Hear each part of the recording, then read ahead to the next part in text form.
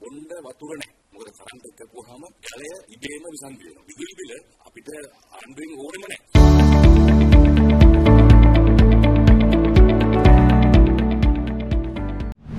ඒ දිනේ විදුලිය කපා දැමූ මෙහින්තලේ රජමහ විහාරයේ විහාරාධිපති ආචාර්ය පූජ්‍ය වලවා හැංගුණ වෙවේ ධම්මරතන හිමියන් අද මහනුවරදී නැවතත් අදහස් දැක්වුවා. අද වෙනකොට අපිට බොණ්ඩ වතුර නැහැ.